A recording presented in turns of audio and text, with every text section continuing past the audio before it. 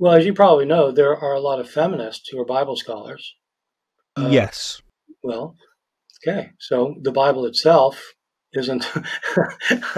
I know. But, but see, see, this is yeah, but like you often pick a lot of verses that show that women are important. So those ten thousand children you just mentioned dying, they're just going to get compensated in the afterlife. God's going to go, here you go, guys. I know that, that was a little inconvenient, but you know, it's all good. I'm all powerful, all loving. I know what I'm doing.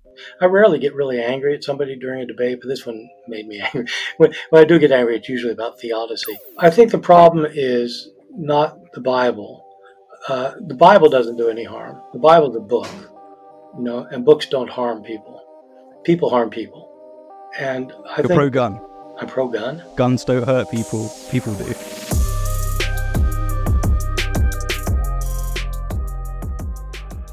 Why, hello, my fellow apes. Welcome to the Rational Roundtable. Our guest today is Dr. Bart Ehrman, a distinguished scholar and author renowned for his groundbreaking research in biblical studies and early Christianity. As a leading authority in the field, Dr. Ehrman has written and edited 30 books, including three college textbooks, and he has also authored six New York Times bestsellers, such as Misquoting Jesus and How Jesus Became God. We are honoured to have him here today to share his profound insights.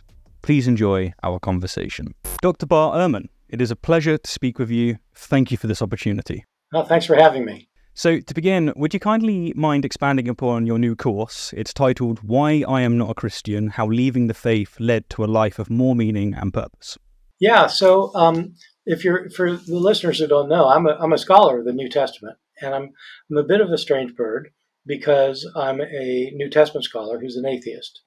Um, and in my course, uh, it'll be a four lecture course, uh, 45 minutes with a long question Q&A period um, where people could ask me about any of it. I talk about how um, I started out as a Christian and was a committed evangelical Christian for uh, for a number of years, and was actually a fundamentalist going to Moody Bible Institute, and and how how eventually, because of my scholarship, I started realizing that the Bible was was a problematic was problematic it, that in the sense that it clearly to me was not inerrant. I came to realize, and and then how I wrestled with that, how what it meant to be a Christian without believing every literal everything in the Bible was literally true, and how I remained a Christian for years until finally I, I decided I had to leave the faith. And so my part of the course is talking about my own journey away from faith and why it happened as a way of helping people who themselves are having doubts for one reason uh, or another. Um, but I also talk about the kind of trauma that's involved with leaving the faith, uh, how that can be so emotionally wrenching, and what kind of fears I had uh, when I was thinking about that I just couldn't be a believer anymore. And uh, and um, now I talk about what you know how these fears were never actually realized, in the sense that you know I thought that you know if I if I don't believe in God, why would I have any reason for ethics? I'd have no moral compass. I would just and you know, or if I if I don't believe in God, why if I think that this material world is all there is, what's the point of living? And why why would I find any meaning and purpose in life if this is it? And and those were those were questions I had, and it turns out that my fears were misplaced, and that in fact I find more meaning and purpose now as somebody who thinks that this life is all there is than I than I did before as a believer.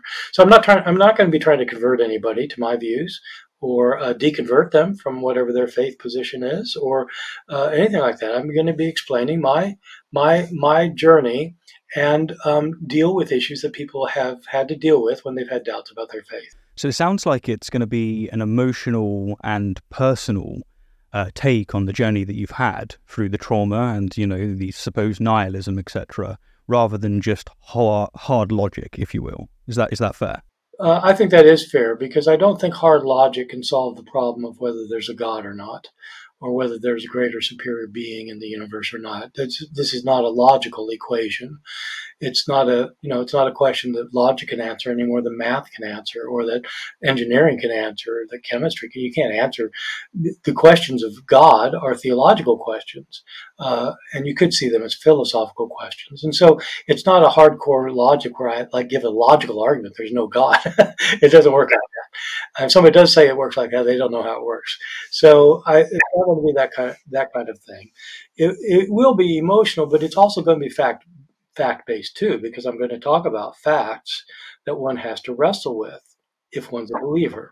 Uh, they're the same facts one has to wrestle with if they're not a believer, but there, you know, there are certain facts about the Bible that make it very, very hard to believe that it's an infallible revelation from God. And they're very, they're fact about the development of Christianity that make you suspect that in fact it's a historical human development rather than a divinely driven development, etc. And yeah, so there, so there are biblical issues, philosophical issues, all sorts of things. Well, for everyone listening, you can find a link to Dr. Ehrman's course below. Just click on that; it will take you to a landing page, and you can get more information. Highly recommend it. So you said about there some difficult facts that you've got to chew on if you're a Christian, and I think that this will lead to a, a decent question. I hope. So let's start with a bit playful. If you had to list the top five reasons you're not a Christian, what would they be? Well, um, the very top reason is that I don't believe there's a supernatural power in the universe that is uh, that is actively in in the world or active in the world at all. And if there's no God in that sense, then I don't think it makes sense for me to call myself a Christian. Um, I mean, I'll just interrupt myself to say that I, I, consider myself a Christian in one sense because I do try to follow what I understand to be the teachings of Jesus about how to live in relationship to other people. But I don't I don't believe that Jesus is the Son of God who died for the sins of the world because I don't think that there's God, and so there can't be a son of God. and so, um, so the first thing is there's there's no. I don't believe there's there's a God. I don't believe that there are any supernatural powers in the world. It's the second thing. I think that there are material. This is a material world. I am. Um, I'm convinced by the by the approaches of science to the world rather than the approaches of theology. I'm not a I'm not a scientist. I'm not a theologian. Just but th- those are my my personal proclivities. Um, I think the world makes sense under the scientific model better than it does under a theological model, whether it comes to why we're here in the first place or how we got here through evolution and through Big Bang and cre- all that, rather than creation and, and Adam and Eve. Um, I think there are problems with knowing what Jesus said and did. I do think that it's pretty clear that you can show historically that Jesus um, was a, I mean, I think he was a brilliant teacher, and I think that he was a great moral teacher. Uh, I don't think that anybody really follows his moral teachings today. if I'm writing a book about that now, about what he really taught and how, but I, but I, I also think he made mistakes in what he said. And so I think that um, that's a reason for doubting, uh, doubting something of the faith. Um, the um, the uh, I don't think that um, that the, you can make sense of the development of Christian theology um, apart from uh, conting- human contingency and history. You know, where do you get the doctrine of the Trinity from? That kind of thing. And the final the big the big thing for me is the problem of suffering. I think that there's so much pain and suffering in the world that the Christian message ultimately does not make sense to me. No, that's fair play. So it sounds to me that you were essentially describing yourself as what's known as a cultural Christian. Would you reject that label? That I am now, you mean? Yeah, like a cultural Christian. So that would be to say that you don't believe in that Jesus resurrected, but you really appreciate the message of Jesus. You said yourself that you live up to, or you try to live up to some of his teaching, if not all of it, and you appreciate the Christian message. So culturally, you live uh, according to maybe not the edicts, but certainly the message as you see it, um, similar to how there's lots of secular Jews. Oh yeah, that, that's not a bad comparison. I, I, think that I think you know the problem with knowing Jesus' teachings is a historical problem. Uh, and I think that you know it's important to when I say that I try to follow the teachings of Jesus, I mean as a historian, I have to reconstruct what I think those were. I don't simply like quote Bible verses and say, okay, that's what Jesus taught. It's actually far more complicated than that because our sources are so contradictory, and are uh, are written later by people who didn't know Jesus, writing decades later in a different language in different parts of the world, and so historians have to reconstruct what they think Jesus really taught. But when I do that as a historian, I try to come try to figure out what his basic message was, and there are large parts of the message that I agree with. And they are the parts of the, oddly enough, many of the parts of the message that I think actually do go back to Jesus are ones that most of his followers aren't aren't very interested in today. Um, at least you know, in, in North in the United States right now, most Christians think that one of the main things Jesus taught was about abortion. It's absolutely false. Jesus didn't say a word about abortion.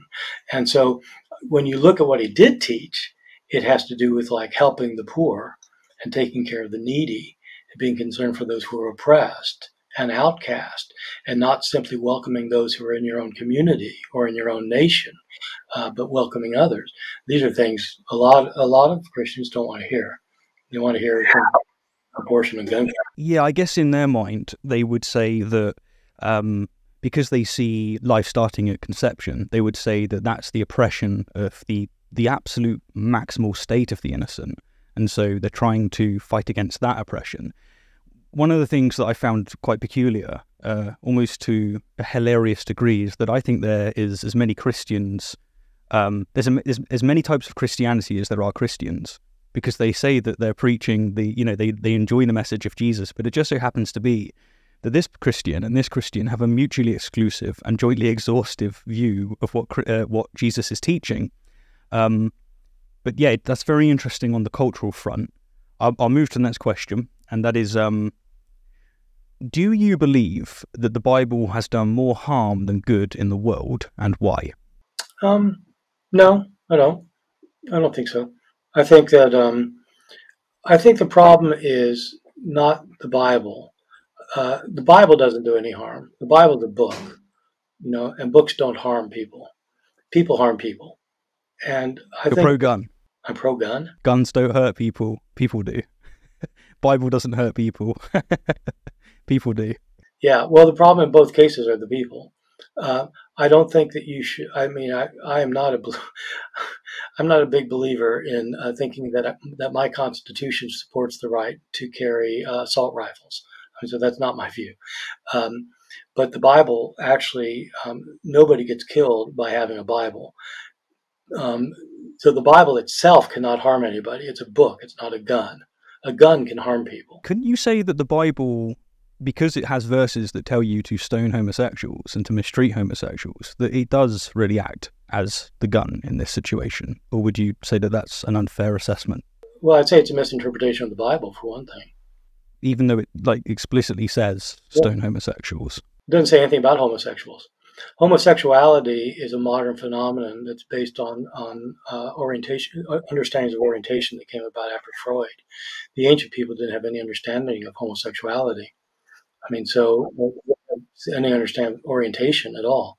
So it's just to think that the Bible condemns homosexuality is to say that the Bible was written in the 20th century when there was such a thing as understanding what homosexuality was. So when the Bible says if a man lie with another man as he would with a woman, is that not it describing homosexual practice? It's it's describing same-sex relations between men. Yes, that's not homosexuality. And, and okay, so it's still saying in this case, you could you could rejig the objection I'm issuing here then to saying uh, you could use the Bible to justify saying that that man cannot sleep with that man. That's right. Because the Bible says so. No, that's right. No, my point. Here's my point. So I, I didn't quite get there, but my point is this: the people who are interested in in stoning homosexuals would be interested in doing that whether there was a Bible or not, because people people are using the Bible in order to implement their own harmful views. That doesn't mean the Bible's at fault. I'm not look, I'm not a believer in the Old Testament. It's not like I'm saying we should accept the Old Testament. I'm saying the problem is the people who misuse the Bible. It's not the Bible. I mean, so look, where where there are societies without the Bible, you have just as much violence and hatred and oppression so it's not the Bible doing it, it's people doing it. Do you not think that when we look at Abrahamic faiths and where they have influence in cultures, you have a particularly high rate of homophobia? Or do you think it's just the same in every culture? Or do you. Because that's where I would get the inference that it's not helpful that this book that people think are either written or inspired by God has these explicit verses, and that the way that you have to navigate that space is to go, look, Jesus said, Love thy neighbor, and that supersedes these otherwise explicit verses. For me, it's quite obvious that this Bible does what, to some about, extent. What about, what about Eastern Europe? What about East Asian countries where it's illegal? So, if we take, uh, say, India and its views on homosexuality, um, do you not think that India has they are. You're right about the homophobia across the world, but don't you think that it's particularly bad in in uh, Western countries because of the influence of Abrahamic faith? I think it's pretty bad in Soviet Union. Oh yeah, that's that's definitely true. Well, I mean, I, that's my point. Is that look, you know, look, I'm. I'm not saying we should implement the Bible, Bible's laws. I'm saying that the, the that the, the the horrible things that people do in our world, they're going to do whether they've got a Bible or not, and they. So that, that's my point. It's not that the Bible doesn't do more harm than I mean, you know, the Bible doesn't the Bible doesn't hurt anybody. It's people who misuse the Bible that hurt people. Got you. So it's like used as a justification. That makes sense. So I'll move on to the next question. Um, in your opinion, what's the biggest misconception Christians have about their own religion? Um, my sense is that the biggest misconception uh, is that most Christians think that their views are the views taught by Jesus.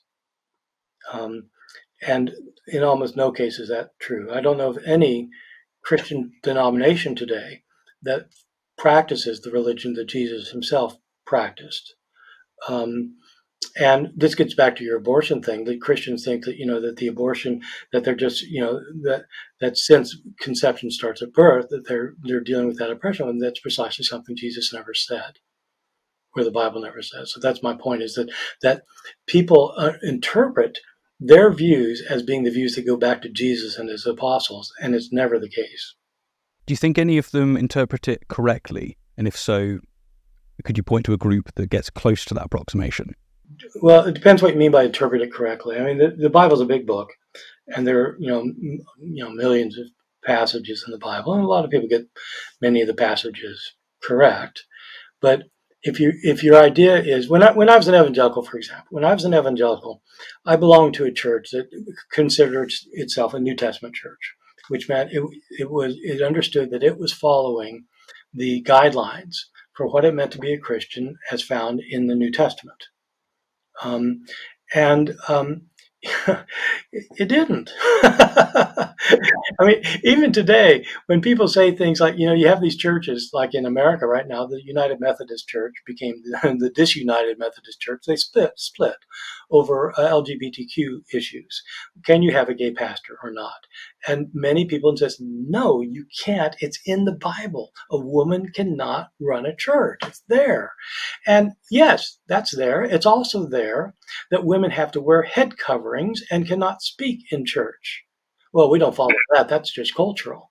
Well, okay, fine. But if that's cultural, why isn't the women preaching in church not cultural? You know what I'm saying? sounds, yeah, yeah. It, it sounds to me that really you're you're expressing the, the, the edicts that are issued in the Bible and any other religious text. Um, it really doesn't matter how much emphasis is put on any particular claim because the people wielding the Bible are going to wield it according to their own biases and their own prejudice. And it, but that's very unintuitive to me because I find that if I pick up the Bible and it has a lot of verses that seem to be screaming that women are subordinate to men, um, I feel like I would have like a not just a justification, but God Himself has justified this. The reason I have this bias, the reason I have this view, well, it makes sense now because the big guy upstairs says so. It's in the Bible, it's saturated. You find it in Genesis, even. It sounds like what you're saying here is that it's not, it really isn't about what's being said in the books. It's entirely to do with the bias of people, and they could read whatever they want into it with equal measure of validity. Is that is that fair? Well, as you probably know, there are a lot of feminists who are Bible scholars. Uh, yes. Well, okay. So the Bible itself isn't. I know. But, but see, see this is verses, yeah, but like you often pick a lot of verses that show that women are important and that women have equal rights with men. You can go to the New Testament, which says that there was a woman apostle who was superior to Paul. You can go to the New Testament to talk about how women are equal in Christ. You can look. You can do anything with the book. What you do with the book has to do with your presuppositions. Yeah, I guess maybe I'm failing to articulate myself. The, the problem for me is that when you get a Christian that's pro um, woman and you get a Christian that's, you know, no, women are subordinate. Likewise, if you get a Christian that's like, no, being gay is fine, Jesus is fine with that, and you get a Christian that's saying, no, Jesus is absolutely not okay with being gay, by my light, the problem is is that one of them is very much succeeding in the theological scriptural battle because they have verses that are so much that it's really explicit, whereas those that are fighting against it normally they're coming at it from the 20th century on, such as with feminism and the move with um, uh, a, a, bigger push towards um, a presence of feminism in Christianity. But two, they just don't have the verses. But I don't want to traverse the same. Um... Well, I'll just say, I understand. No, look, I completely understand your view, but it's because you're hearing these verses from people who are quoting them all the time. But the problem is, is that I'm not hearing a word about homosexuality or a word about feminism. He had women disciples. He had women followers who were, I mean, he was, so they're not just cherry. The problem is, look, here's the problem. Everybody's cherry picking, and the wider public is just is just choosing which store to buy their cherries from. Well, th- thank you very much for the answer there. I um, I'm sure we can discuss it again at another time at your convenience. Mean, it sounds like the Bible is a harmful book, and if if you, I will say that if you take it like read it in the 21st century and read it word for word and implement all of its views, it can be harmful. It can also be helpful. It's the Bible who says that the most important thing is to love your neighbor. It doesn't say to oppress your neighbor or to stone your homosexual neighbor. It says to love your neighbor. It says to love your enemy. Well, at the risk of traversing the same ground, I'm, I'm I appreciate the answer. Thank you very much.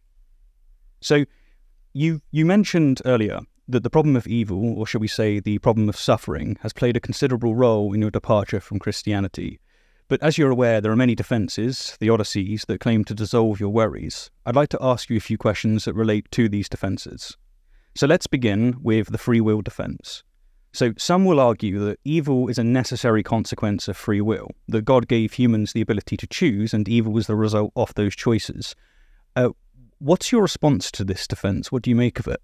Well, it makes you know when I was a Christian, that's what I thought too, and it make it, it certainly makes sense. It doesn't explain why um, thirty thousand Colombians got killed in a mudslide one time, or why you know it doesn't explain lots of evil in the world. It doesn't explain why it doesn't explain why people die in hurricanes. It doesn't explain birth defects. It doesn't explain natural evil.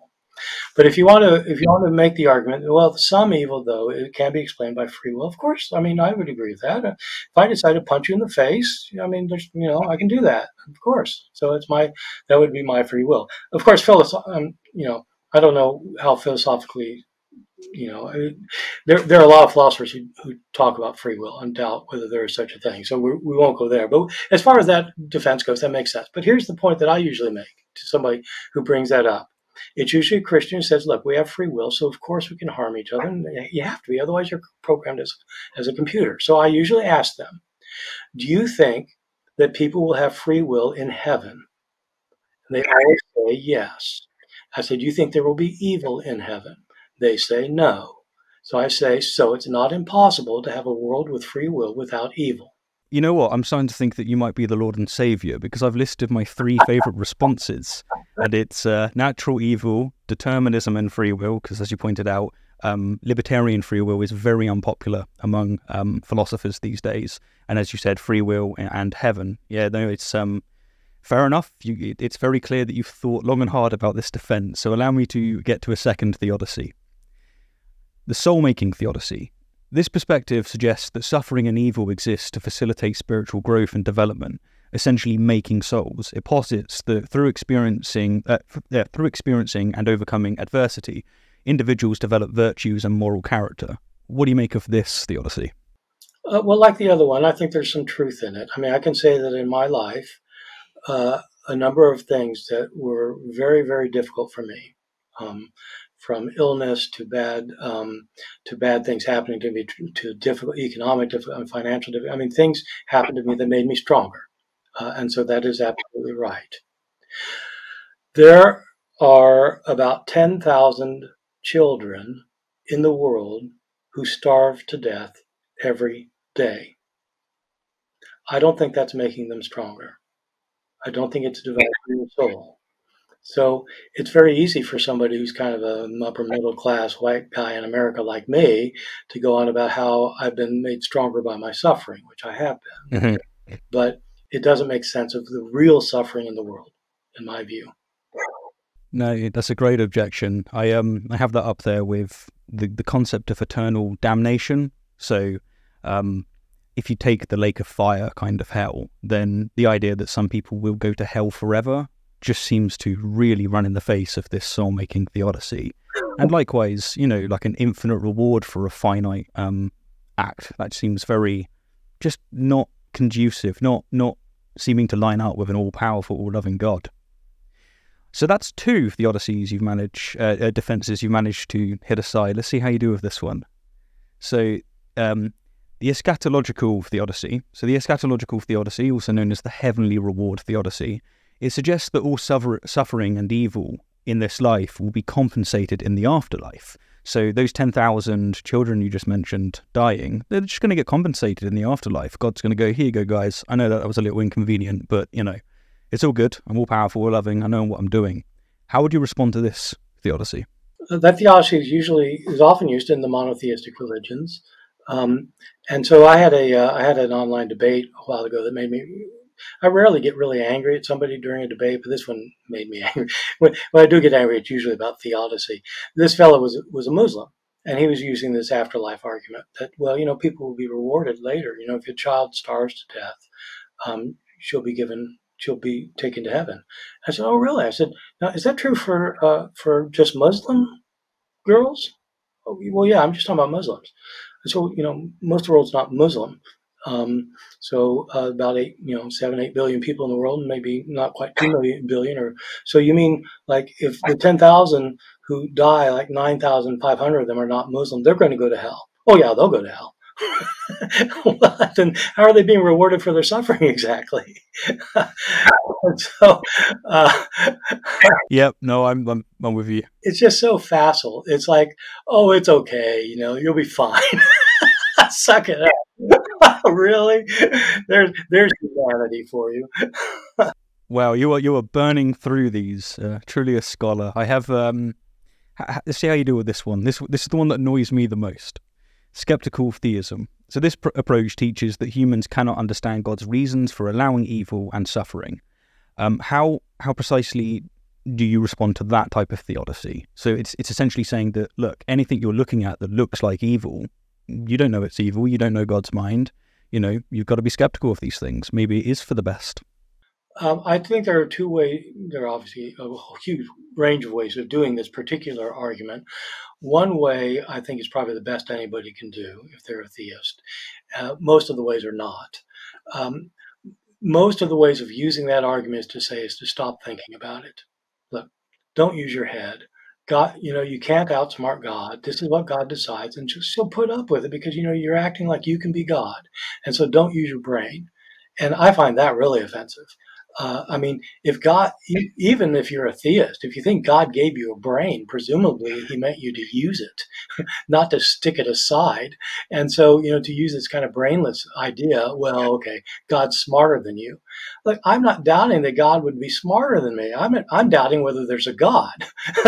and so, uh, so that so I I think that's dumb. But I do know I do know some um, some smart, very smart Christians who just they don't do it like that. They just wrestle with the problem, and in the end, they say, "Look, I don't know. I mean, I, have got, I believe there's a God. I just, I believe there is, and I, I don't have an answer for you." And I respect that um, because you know there are things I don't. Have. I don't have an answer for with my scientific view of the world. There are a billion things I don't have an answer for. I think there will be an answer.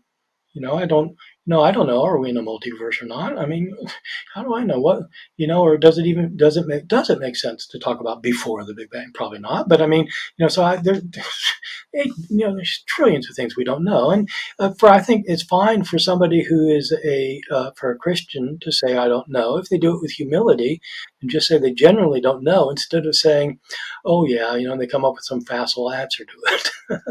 I always appreciate that myself. And it, as someone that interacts with apologists quite regularly, I mean, their job is to defend the faith. So it's not a surprise that they don't normally bite that humble bullet that you were just mentioning. But I always respect respect the hell out of it. I think it's a wonderful thing to say. What it's it's like being able to say, look, that point that you've raised there, that is hard. Okay, I I can't I can't give you a definitive answer on that. However, I remain convinced because of X, Y, and Z over here. That's a perfectly perfectly rational position. That's that's that's great. It's just when you get someone that's like, no, I have all the answers to everything. You, that's a really big sign that you've got an ideologue on your hands. Yeah. Uh, one of the things that gets me on skeptical theism, and I want to, I'm wondering whether, what your thoughts are on this, is essentially a moral um, paralysis. So if we're going to say that we don't know God's reasons for allowing suffering, um, we might be paralyzed in our moral decision making. So say that we see like those 10,000 children suffering, I and I have the ability to save them. Under this rubric, because I've bit this bullet in order to have an answer to the theodicy, um, to the problem of evil, I'm absolutely rational in saying, yeah, I'm not going to save them at all because I don't know God's ways. Like maybe that is for the best, and me intervening is a bad thing. Um, do you think that that criticism has has emphasis, or do you not prefer? Do you prefer not to use that one? Uh, I don't use it, and the only reason I don't, I think you know, I think it's absolutely right. I mean, I think you're right, especially with the, but it, it, kind of coincides with the idea that they'll be rewarded in the in the afterlife, and so well, why bother to help them now? And but but, but in terms of kind of being morally frozen, I think that the, the people who have that view tend to be monotheists again, and monotheists tend to have biblical writings, and the biblical writings are quite clear that you need to help those in need, and you need to even give your life for others. And so, so anybody who's using that as an excuse not to help is in fact not being true to their own religion. I wonder if you could say, if you're taking skeptical theism seriously, then you actually don't know why God's conveyed that to you, or if indeed it is God that's conveyed that to you through the scriptures. And so your skepticism should should keep you in a state of paralysis. It's an interesting dialect, uh, dialect uh, dialectic yeah, that um, perhaps I mean, isn't best. I think logically it's a very interesting problem. On the practical level, I've never known anybody like that in my life. Yeah, I guess that's kind of like the point of it. You point out that listen, you can't say that you hold this view and that you and you don't consistently act this way. That tells me that you don't actually hold this view. Um, or you need, as you just said, you need some kind of breaker to explain why, in this case, you can actually intervene, such as references to the scripture. So, the last of the uh, theodicies I want to discuss before we move on to other questions, depending on your time, is the best of all possible worlds theodicy, the OG, if if you will. You know the the perspective famously proposed by Leibniz, suggesting that God has created the best of all possible worlds, and that just includes the existence of evil. Whether or not it's actually gratuitous is another question. Uh, what are your thoughts to that general theodicy? Well, my thoughts are that anybody who holds that theodicy ought to read Candide. yes, absolutely. Slap him about with Voltaire. Voltaire nailed that one to the wall. I think, in my opinion, I think that I think look, I think it's nuts to say that this is the best of all possible worlds. I had a, I had a, I had three times. I had a public debate with Dinesh D'Souza. I don't know if you would know who that. Is. I do. I do. Unfortunately. Yeah. So on the on this problem of theodicy, and his his big argument was that God had to allow for suffering because the world has to have tectonic plates because if you don't have tectonic plates, you wouldn't have what was needed for life to be to come into existence. And so God had to create a world with tectonic plates uh, because otherwise there couldn't be life here. And if you have tectonic plates, you're going to have earthquakes and uh, volcanoes and nasty things. and it's like, and when he says things like that, I just think, are you crazy? Yeah. You mean you're saying that the, the Almighty God, you're, you're saying that God is Almighty, is all powerful, and He cannot create life without a tectonic plate. He needs a tectonic plate. that makes the tectonic plate stronger than God. what are you talking about? So, look, you look. I don't. I don't know you very well, but I bet you could design a world where there aren't ten thousand children dying every every day. You know, or you know, I. I mean, and to think that that's necessary right? It's necessary for this to be the perfect world. These massive, I mean, birth defects and accidents, and I mean, war. I was like, what? That's the best? Surely anybody could come up with better than this. Yeah, no, I, I, I really feel your passion there. I, I agree. When I hear when I hear the best of all possible worlds, it, genuinely, I, my eyes roll, and I just think, my goodness, like the idea that we are created in God's image, no less and the way that he chose to achieve this is to have at least 14 billion years of essentially nothing of us turning up. all of this accretion, all of this destruction, mass extinctions, taking away 90 odd percent of creatures each, you know, sorry, dinosaurs, you're just a necessary, we need, we need fossil for, for our cars. Um, all of this happening just so that we can stand here and receive his message, it strikes me as absolutely insane. So, like, while I would never say that Christians are insane, anyone that holds that this is the best of all possible worlds, to me, is being profoundly irrational. And um, irrational and, and hard-hearted because I mean, look, if everybody had my life, I would I would agree. Yeah, this is a pretty damn good world, you know. But the reality is, people just close their eyes and ears to the real. You know, I had a I had a I had a public debate one time with a fellow New Testament scholar, N.T. Wright, Tom Wright, and and he had this kind of kind of global view about how God was working in history, and that the, the Bible is this kind of narrative of how it's all going to end up great, and and he so he didn't see the problem of suffering, and I kept st- just citing statistics at him. You know, you know, child starves to death every seven seconds and you know every day 300 people die of malaria and x number die. And and in the debate he says but i just don't understand why bart's throwing all these all this suffering in our face. We're debating why this happens. You can't debate what happens if you don't admit it's happening.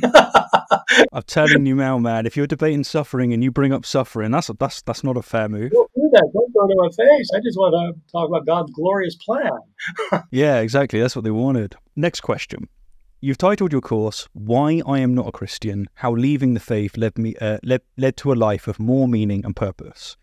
Would you mind sharing a specific example of how leaving Christianity has enriched your life in a way that you might not have, uh, that isn't in fact possible should you have remained in the faith?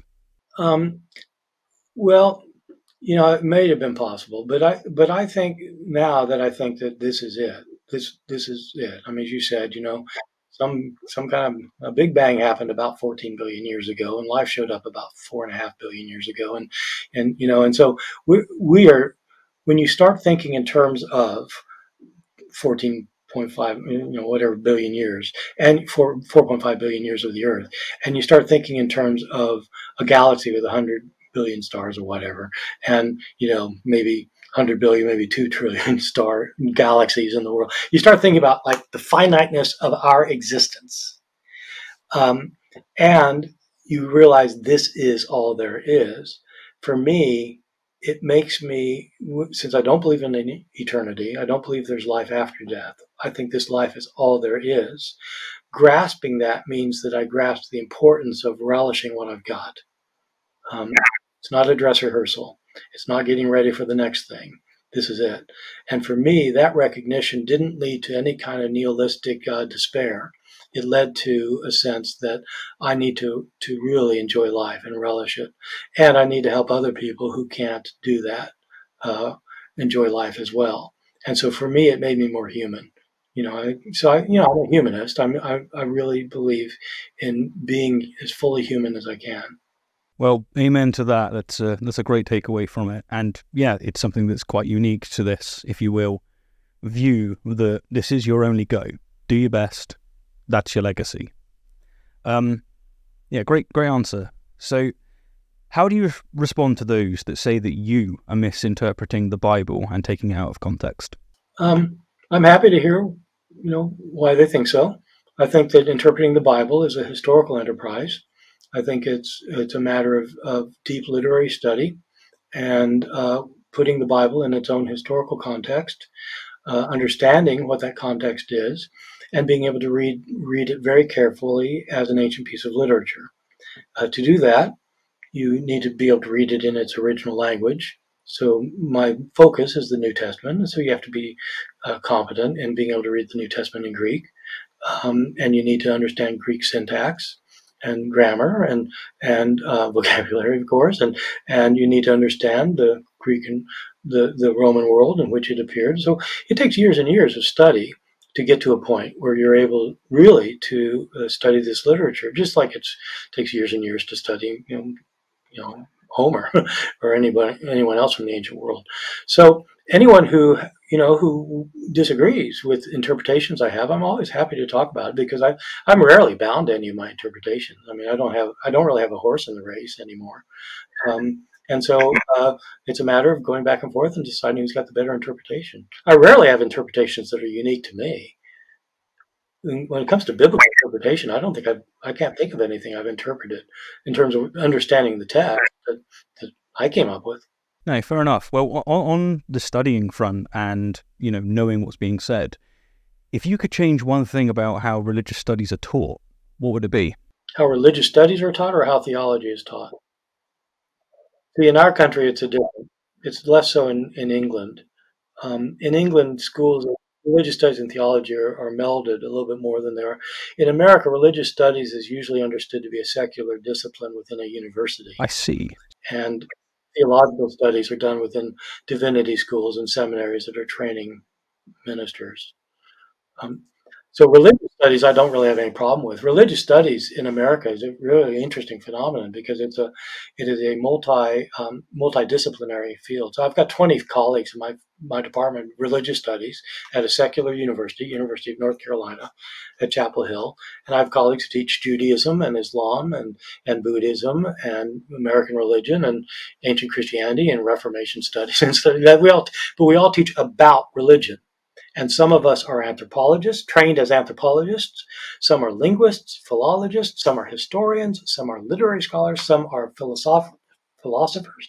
And so they're approaching religious studies from these various perspectives. And I have no problem with that at all. It's just one of the one of the um, humanities, one of the liberal arts. So it sounds like you're you're pretty happy with how that's taught.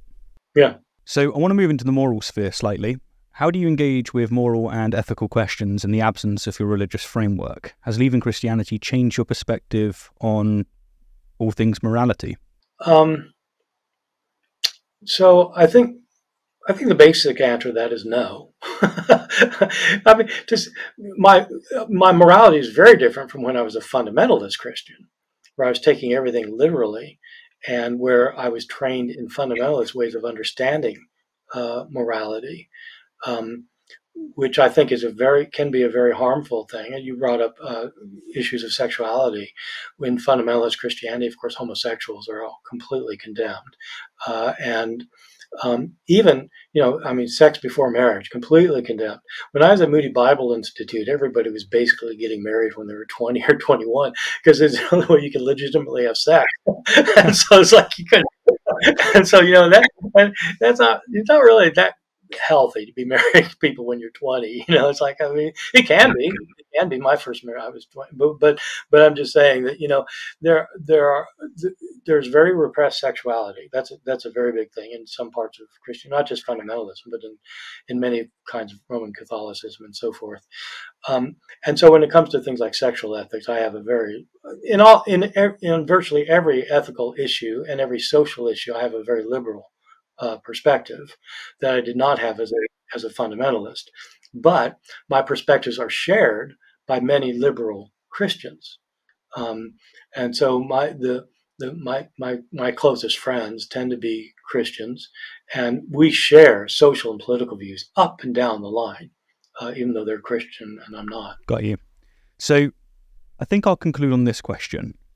You you quoted Jesus as saying, Truly, I tell you, some of you standing here will not taste uh, before you see the kingdom of God um, come in power.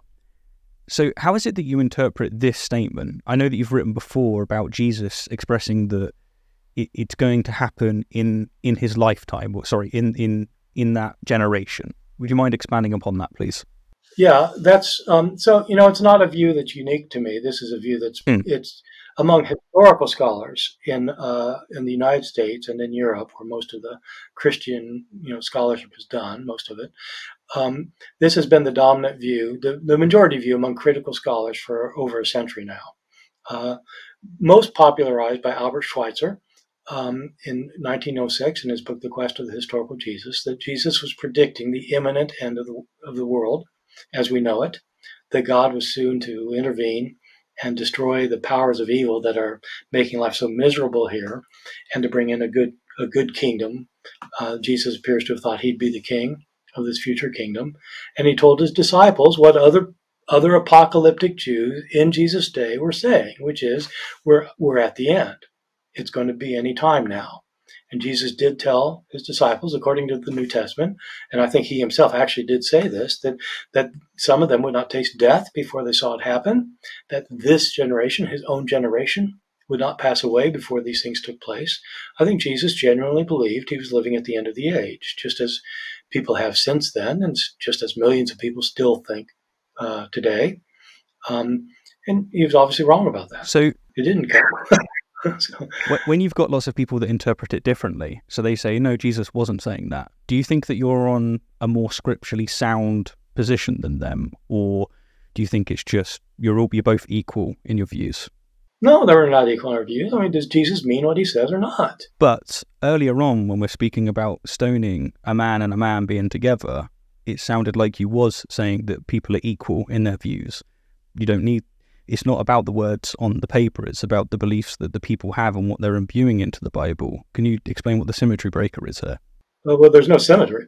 I mean, I was talking about. I mean, for one thing, you asked about homosexuality. But I, but I, I did, I, I did said, refine that to a man lying with a man. I don't really care about the term homosexuality. Yeah. At the end of the day, well, it's two males being killed. I think, I think, Jesus is wrong, and I think that law is wrong.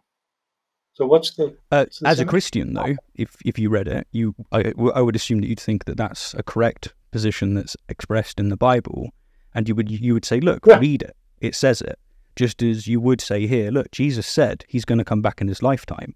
So those that say yeah. that no, no, no, he meant it in a vague way, you could stand there and say, listen, my position is is scripturally supported more than yours.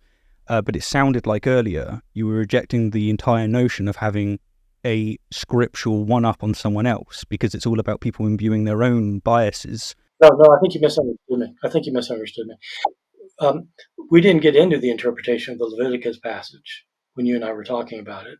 There are so what so what I would, what I point, I mean, if we had an interpretation of the Leviticus passage, you, uh, what I would argue is that if you put it in its own historical context, you realize it isn't applicable to our historical context. So you read it literally within its own historical context. That's exactly what I do with the words of Jesus. In his own histor- in its own historical context, Leviticus is definitely saying you need to stone somebody, a man who sleeps with a man. Oh, right, okay. But yeah, but that's not what that that the question is. What's that got to do with me? if I sleep with a man, I mean, am I, you, you know, are Christians supposed to stone me to death? Uh, and so, uh, so I'm saying when you put it in a different context, the applicability is different. That doesn't mean that it didn't mean that in its context. In Jesus' context, he absolutely meant that it's coming, you know, so very soon in his generation. Okay. So Christians can absolutely say, yes, that is what he said. It didn't come true. And and liberal Christians would say, so, you know, he got the calendar wrong. Or or he meant it, well, you'd come up with some other explanation. But I my personal view is that Jesus really said it. He really meant it. It didn't happen. And so it was a mistake. Well, on that bombshell, I will just say to everyone watching, please check the link below and you can see Bart um, course on why I am not a Christian, how leaving the faith led to a life of more meaning and more purpose.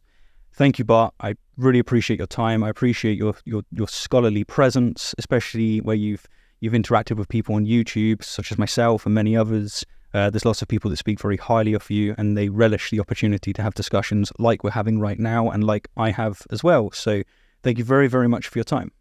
Well, thank you. This has been a this has been a really interesting one. You've got good questions. So thank you. I've enjoyed it. Thank you.